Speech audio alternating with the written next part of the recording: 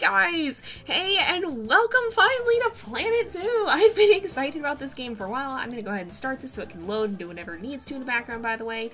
Um, but, oh hey, that's cool. Uh, we're gonna go ahead and uh, jump into Planet Zoo franchise mode and try and uh, try and do some online gameplay here. I've, I've been looking forward to getting to actually play Planet Zoo on the channel for a while now. The channel's been in a bit of an interesting state due to the COPPA stuff, and I've been actually practicing quite a lot of building in Planet Zoo here, so hopefully my zoo won't, uh, won't look too bad. I, I think I figured some things out. hopefully we'll continue to figure some things out, but we got enough conservation points to make a new zoo, it looks like. Well, we got uh, we got 300 at least, so we can get a new zoo. And I guess the I, what I've heard, I, am not too sure how franchise mode works. I think you can only have one, so I didn't exactly get to try it out. But uh, I am familiar with the rest of the game. We're gonna go ahead. We're gonna make a new zoo. And oh boy, um, I usually like the taiga, and I'm gonna just go with the North America one. Oh gosh. Um, hmm. I'm just gonna go with the Wild Taiga because originality, yay! but we'll go ahead, we'll create that and get started. I got an achievement for it, my first franchise zoo here. So, uh, we're going to start out with this, and uh, I'm going to explain a few things as we go on, because there's been some new things to the channel.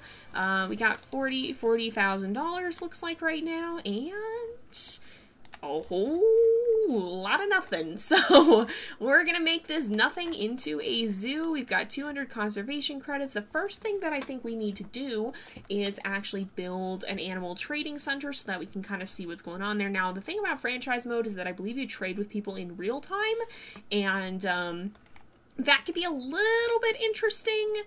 Uh, I'm not too sure how that works. I've used the trading center only in offline mode, and I've heard it can be a little competitive in uh, in this in this version or in the in the franchise mode. So we'll, we'll see how this goes. I'm, I'm not actually too sure. But the first thing that I want to explain is uh, the way I'm going to do the building here because uh, I'm going to do it in a little bit of an interesting way. So you can actually see the builds for all these things. Um, on my Patreon. I'm going to be putting the build videos there. If you guys want to see that as an extra thing, then you can go ahead and check that out. I have a link to my Patreon in the video description. If not, I'll give a brief recap of what I did uh, after I finished the build. And so as I go ahead and figure out what I want to do with my facilities here and figure out how to put them in, um, I'm going to just do that uh, mostly mostly kind of edited out here and if you want to see the full video you'll be able to check it out on my patreon as one of the rewards probably probably the lowest here um, again my basically my goal with my patreon i've said this in other videos is to be a supplement to what i do here on the channel. You're still going to get all the main content here for free but if you do want to see a little bit of the extra behind the scenes then you can go ahead and check that out. So as we get started here i'm going to go ahead and uh, you can see the full speed build on my patreon. Otherwise i'll see you guys in a few minutes and we'll check out what I've done.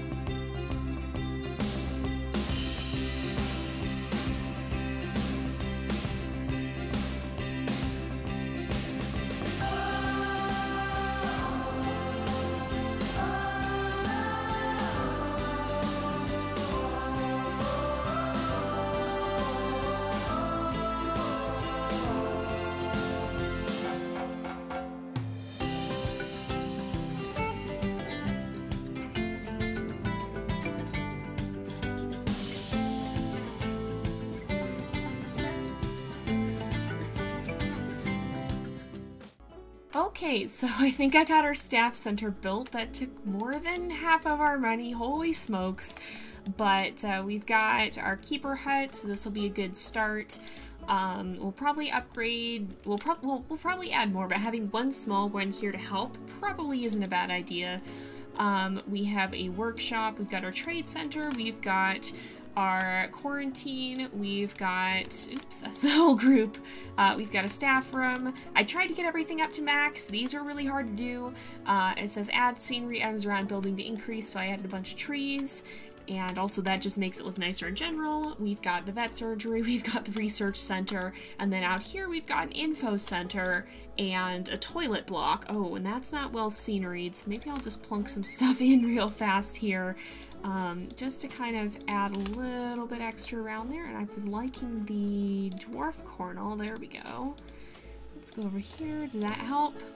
That helps some. It'll help when we build some things across from it too, uh, I think. So basically I kind of built this branching area too because I want to start kind of like I want to put an exhibit here and then we can actually have the staff gate on the back side here. We can put kind of um an exhibit over here. It's going to look a little lopsided at first when we get things set up, but I wanted to actually figure out what animal we should put in first. And so to do that, we got to go to animal trading. and uh, I don't know what kind of chaos to expect. Holy smokes. Yeah, people said there's a lot of, um, a lot of, what, what I was hearing people saying is that people are selling a lot of stuff for the, um, uh, for the conservation credit. So let's just look at the cash ones and filter by that and see what we can buy because we don't have a lot of that. Oh, we could get... Does he... If I look at Rudo, oh, he's got pretty bad genes. I kind of... Hmm... I'm tempted to just buy him. I think I'm going to do that because I like African wild dogs and we can probably have him sit in the trade center for a little bit if we need to. But I think aardvarks look like they might be our best bet. Let's figure out how much uh, space they're going to need. So if we look over here, we can scroll to the aardvark. Oh, right there. Okay, we're already on it. that was, I couldn't find it. So 330, that's not too bad. That's pretty low. Grade 2 fencing. And group size up to two, basically. So up to one male and up to one female. So that's actually a pretty small group size. Um, now we gotta, we'll have to put the exhibit in there. What biome are they again? If we look here, they are tropical and grassland. So we could do like a nice grassland fading into tropical area. I'm gonna have to try and figure out regions. We might have to shuffle things around and change things as we get a little bit, um, a little bit closer here, like to, to having the zoo finished. But maybe what I'll do, you know, actually, I think I'll build it right in this middle area here. So let's go ahead and get started perhaps on that. And then what I think I'll do, well, I'll show you guys in a minute here. I'm going to go ahead and do the next build though. Well, first of all though, let's get aardvarks possibly. um, let's go ahead and go and actually buy the animals and see. So there's only a few of them. Let's see. They don't have the greatest genes. That's what people said can be really hard about them. Oh, we've got uh, a couple more African wild dogs that are pretty cheap. Let's compare. I just want to see... Oh, we haven't technically... If I look at our animal storage, we've got Rudo. We might change these. I might... That's one thing that's going to be a Patreon perk, I think, is possibly naming animals and such not. So let's go to the trading center here. Because if I go to storage, he should be there. Can we compare mates? I want to I want to know if this African wild dog would be a good mate. No, we can't. Okay, we'll figure that out eventually. But uh, for now... Did all the aardvarks get bought already? Uh, these guys all have... I'm going to end up just buying a bunch of animals that we don't really have a place for right off the bat. Actually, if we look at the bison, they need more, don't they? More space. So you kind of just have to buy stuff right away, I think, if you find a good animal. If you look at bison, 420, and they need a group size of three. Okay, well, let's maybe get started on the bison if there's still any. Oh, no, the aardvarks are back now. All right, so let's see. So Takia looks like a pretty decent option. I'm going to go ahead and, oh gosh, they're kind of expensive but I'm going to adopt these two. And that's going to, are you going to let me? Yes, there we go. So if I go to the trade center, we've got these two. If I select them, can I compare mates? Now, if we have them both in the zoo, no, we really can't. so we'll have to figure that out. But for now, I'm going to go ahead and uh, we'll get we'll get started on this. I'll go ahead build the aardvark exhibit, and we'll release these guys. Okay, so I went and got things sorted. I set up some work zones as well, and uh, I'm actually going to move our aardvarks to the quarantine first, but I built this kind of area here, and I think, too, let's make sure we put the glass in the front of it. So the reason there's that kind of dip at the back of it is because eventually I want to put a staff area back there, and I think that might be... Oh, quarantine full. Uh-oh. Oh, I guess... I guess whatever it was, they figured it out. Sometimes they give you weird kind of alerts that don't necessarily mean anything, I think. Like sometimes they just get stuck for a moment, but then they figure it out. Um, I'm going to go ahead and increase the height here. Oh, that costs a lot of money, actually. But uh, for now, I'm going to keep this staff gate here. Eventually, I'm going to put it in the back here and have a staff area back here. But I think it'll be closer to have this area uh, right now. What I eventually do is put an exhibit on this side and then uh, we'll move the staff over here. So now that we're going to have some animals, um, let's also place in some facilities here. Let's put in a donation box. In fact, we'll put a couple of them in because we want people to uh, to give us money. And then I did put an info center here so that the uh, guests will be able to uh, buy stuff there as well and get the information that they need. Oh, and there is one thing that I probably should do as well. I'm going to move this a bit. Um, and that would be, I'm going to go ahead and see, well, we'll see if we have any good signs. I'm kind of using some basic stuff for the construction right now, and we might change the style of it, because I kind of don't like this style so much. But we don't have a lot of money right now, so uh, we'll see. Um, wall signs, or is there... Okay, both of those are ready to leave. Um, so what I'm going to do is I'm actually going to place a sign here and what this will be is the exhibit donor sign. And this is something that I'm starting through my Patreon as well. So if, um, I'll put one on the other side. So basically, if uh, you would like to have your name show up somewhere in the series, somewhere in the zoo, uh, you can actually support my channel on Patreon, and that'll be one of the rewards. It'll probably be the lowest level, or one of the lower level rewards uh, if you would like to sponsor an exhibit. So you can do that. There can be, well, depending on the size of the exhibit, probably two sponsors or, or more, perhaps. Um, and so if you'd like to support my channel, then your name can actually show up in the series itself and be visible for anyone to see that you supported the channel. Uh, so you can definitely check that out if you're interested, uh, and also see the speed builds of the things that I've been working on here. Um, just go ahead and check out the Patreon link in the video description if you'd like to see that. But I see these guys have passed their quarantine, so I'm actually going to move these guys right over here. And what we're going to do is we're going to put them in, and then we're going to pause the game real fast because this will let us make sure that um, that we're able to set up their exhibit well because we'll be able to see what their needs are and we can't really see that until they're in the exhibit. So we'll pause it real quick to take care of that and then kind of address what we see there need to be. And uh, looks like the vet's helping as well. And here we go. So let's just make sure both of them come in here. Oh, we've got an uh, inspector coming now. Um, uh-oh. Cannot reach. Oh, yeah. Oh, I see. I didn't I didn't actually set that up, but I'm, gl I'm glad it notified me of that because first of all, I'm going to change these be a little bit better, but okay, what I'm going to actually do is go look at my work zones. Work zones are a little technical, so I don't know how much I'll do with them on camera, but let's just go ahead, edit this, and we'll go ahead and include this. Basically, this tells your staff members where they can or can't work. And you want to make sure you have a mechanic here because if you look at the exhibit, you can see the barrier status is at 92%, and if that gets too low, eventually they can break. So these guys are probably not going to be too happy right off the bat. They don't have anything that they actually need. Um, enrichment is terrible. But what I'm really interested in right now is this habitat. So we want to make sure, first of all, that we adjust the terrain in here. Let's go ahead. We want to add more soil and we need more short grass. Interesting. Okay. So painting is where I want to be. Let's go ahead. We'll add some more short grass. We'll have a little, maybe a little bit of uh, the longer grass in the front but we're also going to need some soil. And so let's kind of put a little bit of the longer grass along here. Just a little bit, not a huge amount. Uh, that's still within reason. And we'll go ahead and put some heavy soil back here. And maybe a little light soil around the edges just to kind of finish that out. There we go.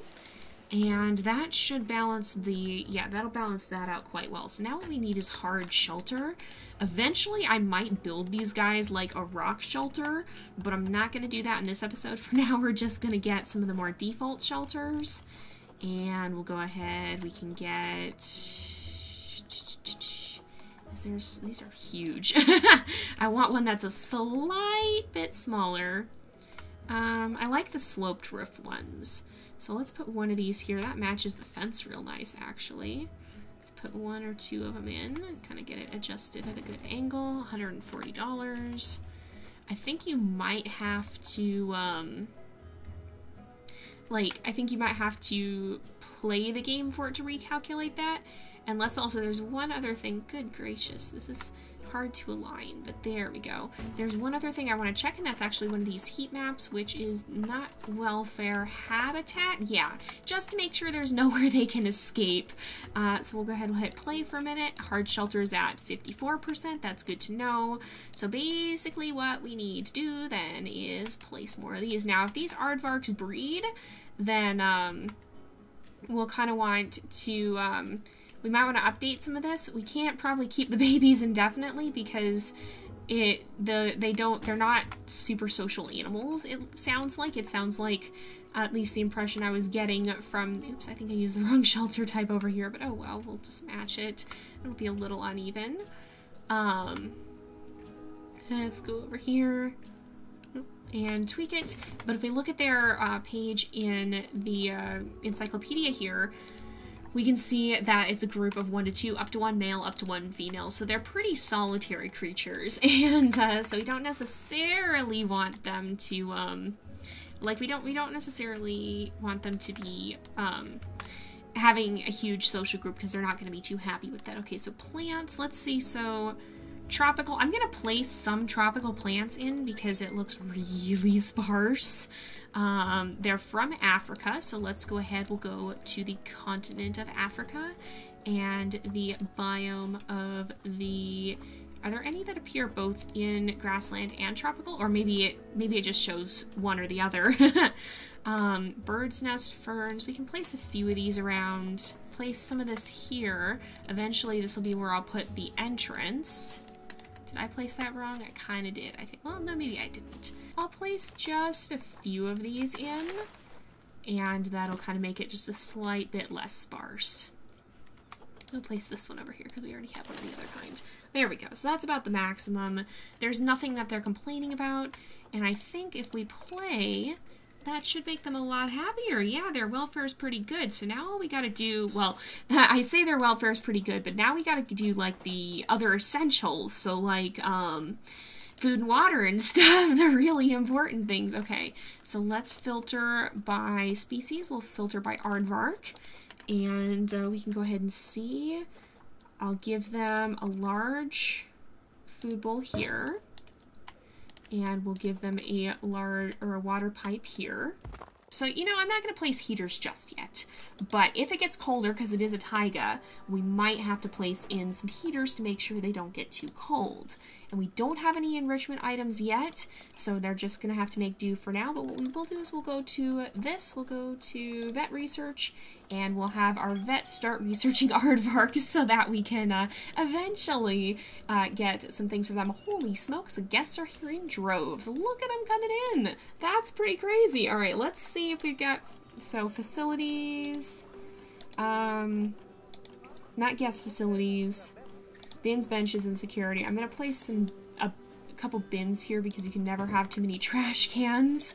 Um, but these guys are going to come see and maybe I'll scooch some of these around. We'll, we'll kind of see if we can get this started because we've spent about $30,000. We need to start making that back. Are we actually earning income here? We haven't gotten any donations over here. Somebody please donate. oh, goodness. Hopefully people will, but the guests do seem to be enjoying them thus far. Oh, we got, well, yo, we got, we got two donations there. We haven't gotten any on this side, but I think this could work. Oh, we should place in some lighting and I'll put a few over by the exhibit as well. We probably want to add some education parts to it as well. So we'll see here. Let's go ahead and put this here. Vet research is complete. Woohoo! We got an achievement for that as well. So we've got a little bit of research for our aardvarks now. I'm going to let the vet continue to research because it's always going to be good to get uh, to get more research there. And I think, let's see, do we have any enrichment now? Because that's, oh, we do, a large barrel feeder. So that's going to help them uh, be a little bit happier. They've got now 50% enrichment. Their welfare is up to 80, which is good. They're still not super duper happy, but, well, I mean, they're pretty happy, but they're not as happy as they could be. Education is, however, low, so let's go to viewing devices and speakers. We'll put up, I do actually want this to align to the surface now. So we'll put up some of these. Let's go ahead and make sure we set these to Aardvark. Um, I'll put them mostly over here because um, and if we put the speaker like right here, that'll probably cover a pretty large area. All right, let's see, and we'll go ahead and we'll do Aardvark. And that'll cover, whoa, that covers quite a lot of the zoo area actually. Maybe I don't want it all the way up.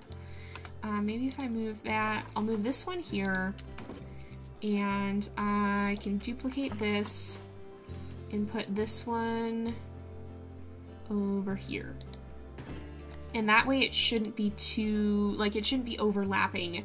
We won't have issues with it overlapping.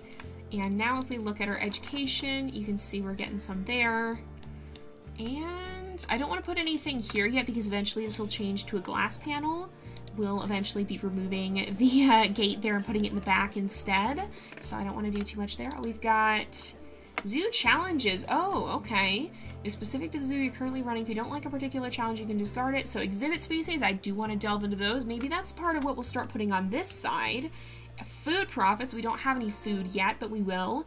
And at least 300 guests in the zoo. We're actually well on our way towards that. And look, we're up to 12,000.